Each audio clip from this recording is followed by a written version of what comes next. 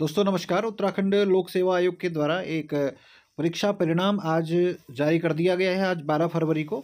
Jail बंदी रक्षक परीक्षा जो 2022 का विज्ञापन था 15 नवंबर 2022 को निकला था, उसका परिणाम आज घोषित कर दिया गया है, अंतिम परिणाम जो इसका है। इसके लिए पहले इसमें फ़िज़िकल एग्जामिनेशन होता है, शारीरिक मापदंड की परीक्षा होती है, और उसके बाद शारीरिक दक्षता परीक्षा होती है।